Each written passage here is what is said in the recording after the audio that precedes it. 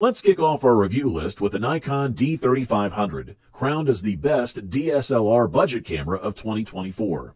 This model is Nikon's top entry level SLR camera, perfect for those diving into the world of DSLRs for the first time. Compact, lightweight, and user friendly, it even includes a tutorial mode to help you learn the ropes. Despite its simplicity, it's packed with features that rival higher tier cameras. The Nikon D3500 boasts a 24 megapixel sensor, 11 autofocus points, and can shoot at 5 frames per second. It also offers live view mode, full HD video recording, and ISO sensitivity ranging from 100 to 25,600, making it suitable for low light scenes. The guide mode is particularly handy for beginners, providing step-by-step instructions on how to take great photos, even if you're new to SLR photography. The 24MP sensor is among the best on the market, delivering sharp, clean images. However, the D3500 falls slightly lower in our ranking of the best beginner DSLRs because it lacks some features found in other models. The LCD screen neither tilts nor swivels and isn't touch sensitive, which can limit usability. Additionally, the autofocus system with just 11 points